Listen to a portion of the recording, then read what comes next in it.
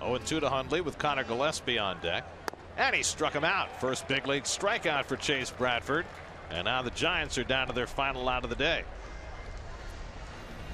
Slider out of the strike zone. Good down break.